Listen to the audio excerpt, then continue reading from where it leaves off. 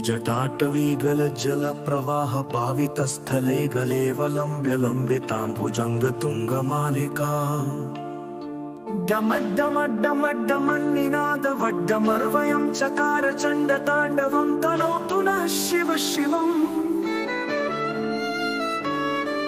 जटाकटाः सम्भ्रम् भ्रमन्निलिम्प निर्झरी विलोलवीचिवल्लरी विराजमानमूर्धनि धगद्धगद्धगज्वलल्ललाटपट्ट पावके किशोर चन्द्रशेखरे मम। धराधरेन्द्र नन्दिनी विलास बन्धु बन्धुरस्फुरद्दिगन्त सन्तति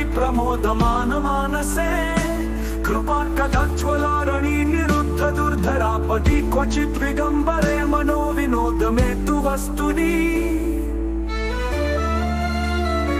जटाभुजङ्ग पिङ्गल स्फुरध्वरामणि प्रभा कदम्ब कुङ्कुमद्रव प्रलिप्त दिग्वधूमुखे मदान्ध सिन्धुर स्फुरत्वदुत्तरीय मे दुरे मनो विनोददद्भुतं विभर्तु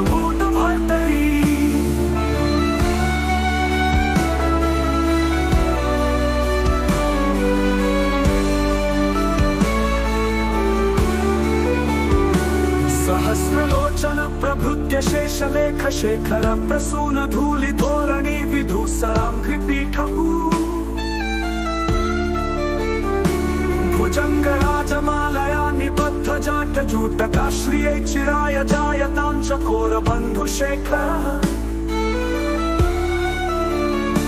ललाट चत्वर ज्वल धनञ्जय स्फुलिङ्ग भानिपीत पञ्चसायकं नमं निलिम्पनायकम् सुधामयूखलेखया विराजमान शेखरं महाकपालि सम्पदे नन्निलिम्पनायकम्।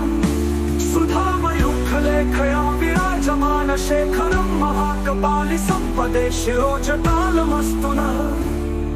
कराल भाल पट्टिका धगद् धगद् धगज्वल धनञ्जयाधरीकृत प्रचण्ड पञ्चसायके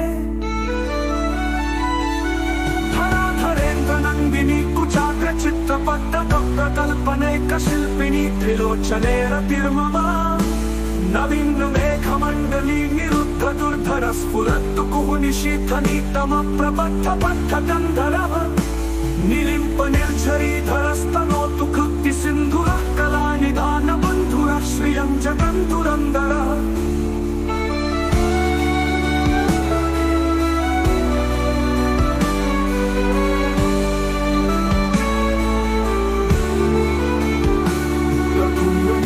नीलपङ्कज प्रपञ्च कालिम प्रभाविडम्बिकण्ठ कन्तरारुचि प्रबन्ध कन्धरम् पुरच्छन्द भवच्छिदं मखच्छिदं गजच्छिदान्त कच्छिदं तमन्त कच्छिदं भजे। अखर्व सर्वमङ्गला कला कदम्ब मञ्जरी रस प्रवाह माधुरी विजृम्भणा मधुव्रतम् पुरातकं